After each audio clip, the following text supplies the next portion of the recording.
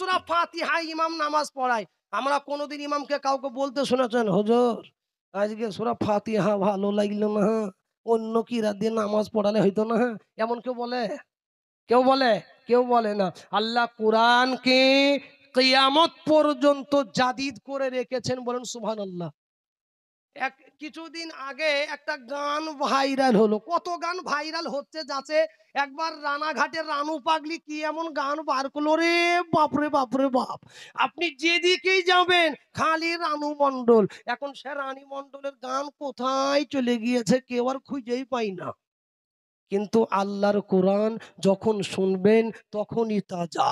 যখন কোরআন শুনবেন, আহা, তখন মধুরতার। কারি আব্দুল বাসাদ, বাসিদ ইবনে সামাদ সাহাব রহমতুল্লাহি আলাই ওনার কোরআন যখনই শুনবেন তখনই মনে হবে এক্ষুনি কোরআন মনে হয় নাজিল হচ্ছে বলুন আলহামদুলিল্লাহ। এই কোরআন হলো আমাদের, এই কোরআনকে আমরা মানবো বলুন ইনশাল্লাহ আর যেখানে আজকে আপনারা জালসা শুনতে এসেছে, এখানে কিসের শিক্ষা দেওয়া হয়? এ বাবা, কথার আওয়াজ নেই কেন? মুসলমানের আওয়াজ দিয়ে বলুন, কিসের শিক্ষা দেওয়া হয়? কোরআনের শিক্ষা। সেই কোরআনে আল্লাহ পাক কি বলছেন? তো যাই হোক, ভূমিকা এদিক ওদিকে গেলে হবে না। তো আল্লাহ পাক আমি যে জমিনের আল্লাহ যে নিয়ামত সম্পর্কে, এই জমিনের মধ্যে আল্লাহ পাক যে পাহাড়গুলো রেখেছে, এই পাহাড়গুলো খুঁটি করেছে, কেন? যাতে করে জমিন নড়াচড়া না করে, আমার বান্দা কষ্ট করে একটু ক্লান্ত হয়ে পড়ে যায়, যখন আরাম করবে, বান্দা জমিনে টেক লাগিয়ে ঘুমায়, জমিনে অনেকে ঘুমাই জমিনের উপর খাট বিছিয়ে আমার বান্দা আরাম করে, কাজে আমি আল্লাহ আমার বান্দারে কষ্ট দিব না, ওয়াল জিবালা আওতাদা তারপর কি বললেন? وخلقناكم أزواجا وخلقناكم أزواجا وجعلنا نومكم سباتا وخلقناكم أزواجا ওগো নবী বলে দিন আমি পৃথিবীতে যা কিছু বানাইলাম আমি জোড়া জোড়া বানিয়েছি সাদা আরো কালো উঁচু আরো নিচু এদিক আরো সেদিকে ডান দিক আরো বাম দিকে আর জান্নাত আরো জাহান্নাম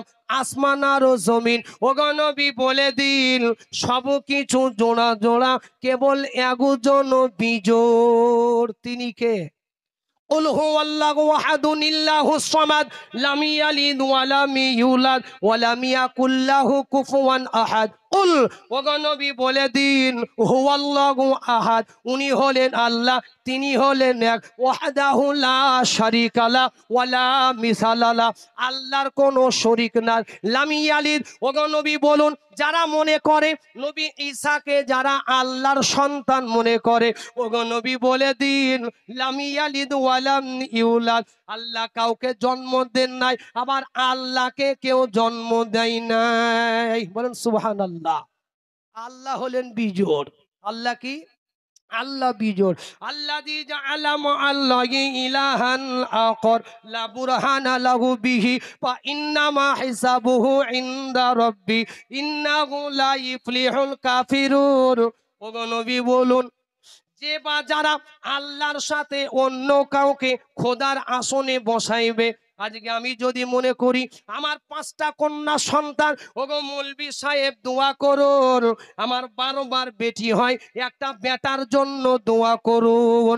আল্লাহ বলে নবী বলুন, আমি কাউকে নিঃসন্তান বানাই, আবার আমি কাউকে সন্তান দিই, যাদের সন্তান হয় না পীরতলা, গাঁজাতলা, ফরিদতলা, কাউকে তুমি সেজদা করতে যেও না। ওগো নবী, আপনি বলুন, আল্লাহ ছাড়া পৃথিবীর কারোর কাছে মাথা নত করো না। আল্লাহ ছাড়া কারোর কাছে সেজদা করবেন? আল্লাহ ছাড়া কারোর কাছে সেজদা করো না। আল্লাহ বলছেন, নবী, সব গুণা ক্ষমা করব। আমি নামাজ পড়লাম, হুজুর গো, আমি একবার নামাজ পড়ি, তিনবার পড়ি না। ঘরে নামাজ পড়ি, মসজিদে যাই না।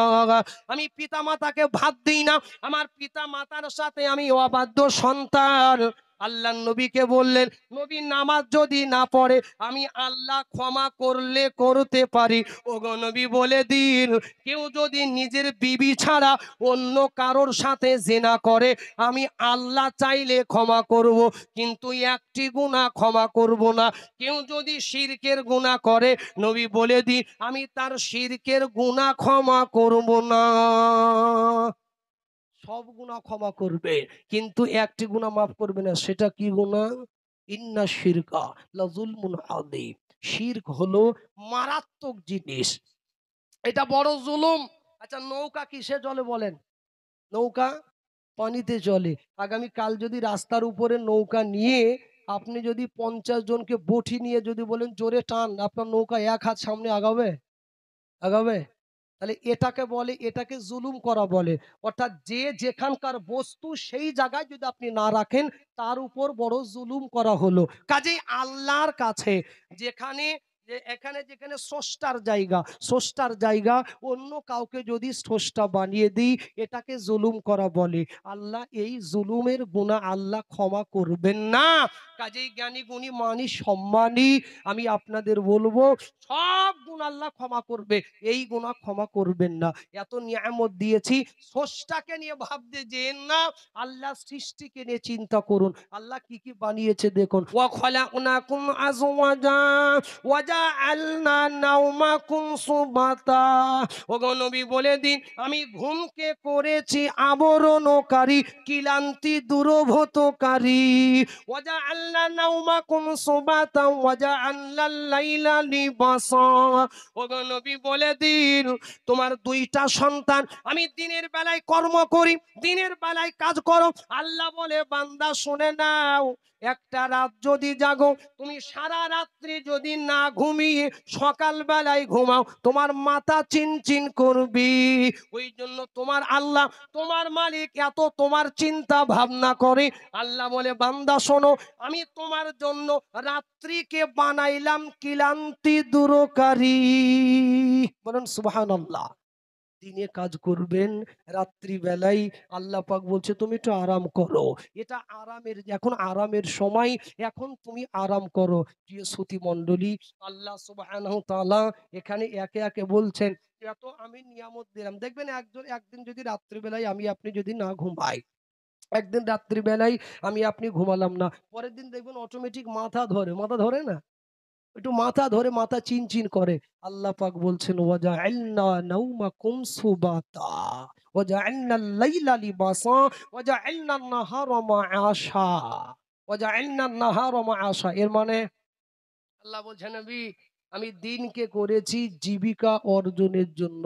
দিনের বেলায় বেরিয়ে যাও। রুজির মালিক জোর হলো না। আচ্ছা রুজির মালিক আল্লাহ, তো আপনারা ওই খাটের উপরে ঘুমিয়ে থাকবেন। দরজা বন্ধ করে পিছন দিক থেকে খিল মেরে ঘুমিয়ে থাকুন। রুজির মালিক ঘরে আপনাকে রুজি দেবে নাকি?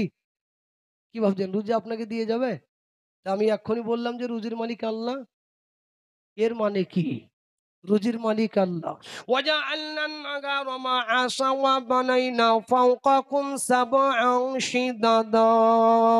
وجعلنا النهار معاشا وكن نبي أمير روزير مالك الله والله خير الرازقين. আল্লাহ হলেন উত্তম অন্নদাতা। নবী, আপনি বলুন, রুজির মালিক আল্লাহ নিয়েছেন, তবে আল্লাহর একটি কথা শোনো, ফরজ নামাজ হয়ে গেল, ফজরের যখন আজান হয়ে গেল, মুয়াজ্জিন যখন বলে, আসসালাতু খায়রুম মিনান নাওম ঘুমের থেকে নামাজ উত্তম। ও বান্দা, শোনো, নামাজ পড়ে তুমি দুনিয়াতে ছড়িয়ে যাও, আল্লাহ তোমার রুজির ব্যবস্থা করে দিবেন। রুজির মালিক আল্লাহ, আবার আল্লাহ হুকুম দিয়েছেন, ফজরের নামাজ পড়ো, তুমি রুজির সন্ধানে বেরিয়ে যাও। কিন্তু আমরা তা তো করি না। এক একদিন দেখা যায় আজানের আগে মাঠে চলে যায় অনেক মানুষ কি আছে? আজানের আগে মাঠে চলে যায়। আপনি দুনিয়াকে, পার্থিব জীবনকে যেভাবে আপনি প্রাধান্য দিচ্ছেন একটু আল্লাহর বিধি, বিধান একটু কেয়ামত, অর্থাৎ পরকাল একটু আখিরাতকে সেইভাবে প্রাধান্য দিন। জ্ঞানীগুণী মানি সম্মানী, গুটি কথা রাখছি একটু আলোচনাটা ভালো করে শুনবেন। আপনি আজানের আগেই আপনি মাঠে চলে যাচ্ছেন। আমি যেতে নিষেধ করছি না আপনাকে। আপনি মাঠে চলে যান, আপনি সারা রাত মাঠে থাকুন। কিন্তু আল্লাহ যে আপনাকে একটু সময় চেয়েছে, আল্লাহ যে একটা নির্দিষ্ট টাইম করেছে। পঞ্চাশ নামাজ ছিল কমিয়ে কমিয়ে কমিয়ে নবীজি লজ্জিত হয়ে নবীজিকে আবার নবী মুসা বললেন নবী কয় ওয়াক্ত নিয়ে আসলে? বলে, পাঁচ ওয়াক্ত। বলছে, আবার যান। বলে, আমি আর যাইবো না। আমি নয়বার গেলাম, পাঁচ নয়, পঁয়তাল্লিশ কমিয়ে আমাকে পাঁচ ওয়াক্ত দিল। যতই কষ্ট হোক, আমার উম্মতের উপর মেহনত করে আমি পাঁচ ওয়াক্ত নামাজ আদায় করাবো। কিন্তু দেখা যায়, এখন আপনার এই যে জালসা যারা শুনছেন, অনেক আল্লাহর বান্দা বসে আছেন এসার নামাজ অনেকে পড়ে নাই। নাই, এমন মানুষ নাই? হাত তুলতে বলব না। হাত তুলতে বললে ওরা জালসা শুনতে আর আসবে না। হাত তুলতে বলব না, কিন্তু অনেক আল্লাহর ওলি বসে আছেন, যারা জিনারা এসার নামাজ পড়ে নাই।